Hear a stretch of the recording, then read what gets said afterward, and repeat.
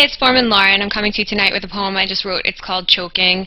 It's about uh, having a difficult time with someone who just won't listen to a word you say no matter how loud you say it.